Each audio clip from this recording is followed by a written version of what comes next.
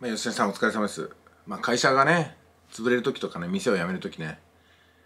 まあ、私最後に店閉めたのは麻雀店なんですけども、まあ、涙出なかったんですけども、泣けましたよね。何が泣けたかっていうと、この悲しみは俺しか分かんないんだなとかね。頑張って頑張ってやってきたけども、結局は自分一人でやってきたんだなって、これ本当に思いましたね。誰一人自分の味方いなかったっていうこと。これは痛切に感じました。それは自分のせいでもあるんですけども、結局は何らかの利益があるからついてきた人ばかりで、一つの事業があるとここまでまあ一人ぼっちになるんだなって思いましたね。もう本当に一人だったですね。もう何もなくってただお金もないんでその店舗のね撤去費用も払えなかったんで自力でやりましたからね自分の体で。えっ、と7月の21日に閉店してで8月には受け渡しだったんで1日。だから1週間。10日なかったんですよ。10日ない中で、まあ壁紙剥がしたりね残品をこうまとめて体力の限り運び出したりとかもうたった一人ですよね、うん、もうなんかすごい辛いのと同時にいや俺は一人でいいんだと思いましたね。本当強く決断して。これでいいんだと、まあ、他者なんて本当に当てにならないし他者がいるから結局自分の人生邪魔されてるんだなとこまで行きましたねそこはね、うん、だから山一証券の社長とはちょっと違った気持ちかもしれませんけども、まあ、でもあの山一証券の社長の涙っていうのは私は高校生のぐらいの時に見たんですけどもあれから20年以上経ってね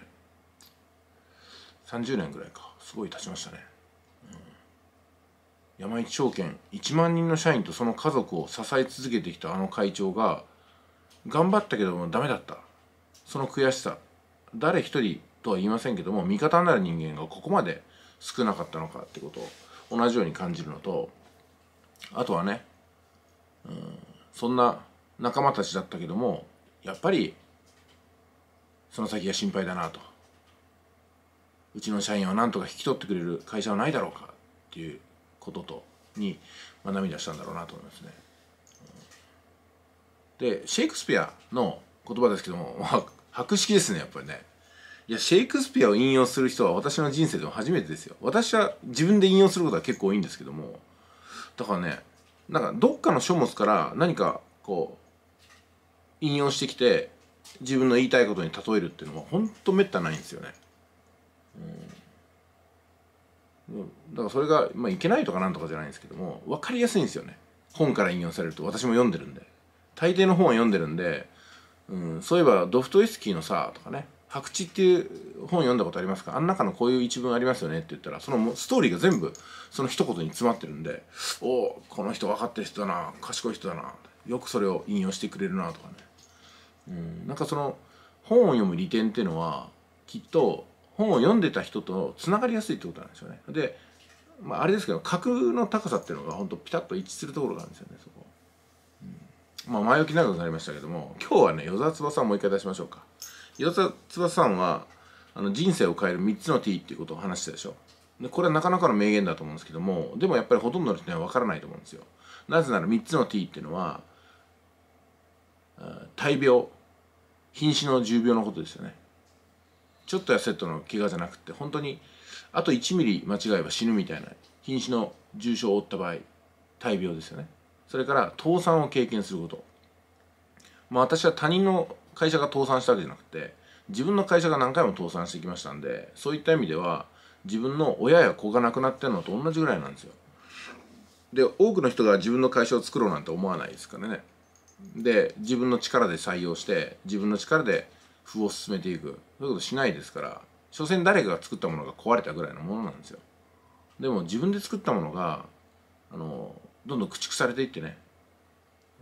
全知全能で抵抗したけども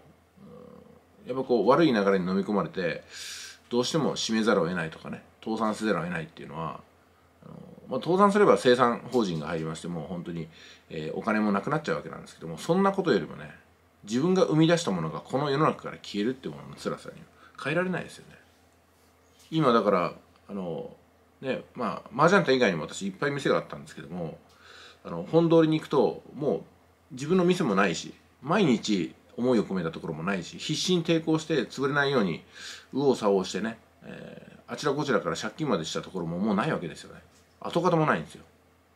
でこれ想像しただけで Google マップで見ることもできないぐらい、うん、結構心にくるんですよね。精神を病むとかでまで言いませんけども、うん、もう常々思いますよその自分の店がなくなった時この悲しみを日々胸にしまってるのは俺だけなんだなとこの広い世の中でなんか80億人近く人類いるらしいんですけどもたった一人こんな思いを抱えているっていうのはねもうむちゃくちゃ孤独だと思いますね。まあ、吉谷さんはそこまで思ってないかもしれませんけど ちょっと思うところがあるじゃないですか。うん、だからその倒産が人生をこのすごく生産するっていうかね変えていくっていうのはまあそうだよなと与沢翼さんも六本木技術に自分の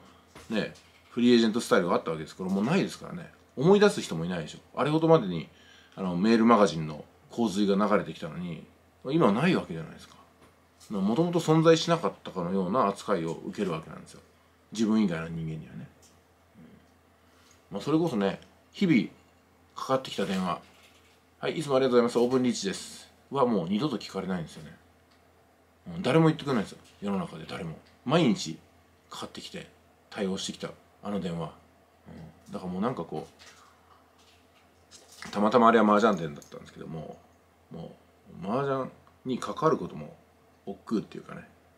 もう心にかなりダメージがくるような感じですね。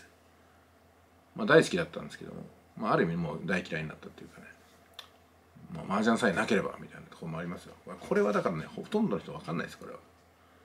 もう分かんなくていいんですけどね。あのあくまでも娯楽であり飲食店も潰れましたけども 別に私の飲食店が必要とされなかったから潰れただけなんで、うん、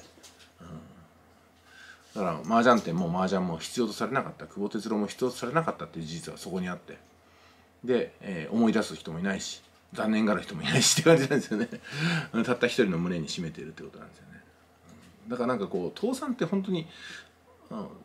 まあ辛いですよ。辛いんですけども、まあ、いい経験にできるなというところありますね、うん、あのもう新しい自分に脱皮できるというかね。もうこりごりみたいな。店はこりごり会社こりごり人採用するのはこりごり人に任せるのはこりごり ひいては麻雀こりごりみたいなね。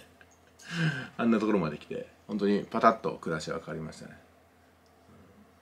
であとは何だっけ逮捕か。逮捕も同じですね。逮捕されて牢屋に1ヶ月も入ればねあの悟るものがあってこれはなんかね経験した人じゃないと分かんないって言ったらまた横暴な言い方になると私好きじゃないんですよ。あの橋本徹さんがよく言うんですよね。なんかいろんな有権者がね政治家に文句バーッと言って橋本徹さんが出てきて「そんなに言うんだったらお前がやってみろ」とかね。いやこれ言ったら全部話終わるじゃないかみたいな形なんでやった人しかわからないっていうのは私も本当にね言いたくもないしね思いたくもないことなんですけどもあえて今回言いますとやった人じゃないとわかんない。逮捕されて牢屋に入る。あの冷たい手錠が両両腕にかかってね新聞にデカデカと実名で顔出しで載るっていうね。よくあの YouTube とかでインターネットで顔出し名前出しすごく嫌がる人いるじゃないですか。まああのそれぞれの立場があるんで一言では言いにくいんですけども随分レベルの話低い話をしてるなと。俺は新聞に犯罪者として載ったんだぞっていうね。しかも無罪方面だったのに訂正記事出ないっていうね悲惨な目に遭いましたけども。でもこれもみんな覚えてないんですよね。街歩いてああの人捕まった人だってなんないですか。ら、うん、面白いもんですね。自分だけしかわからないっていうね。それはもう世の中では自分の経験や失敗なんて大したことがないってことなんですよね。はいシンプルに考えてそんな感じでした。じゃあ次回も待ってます。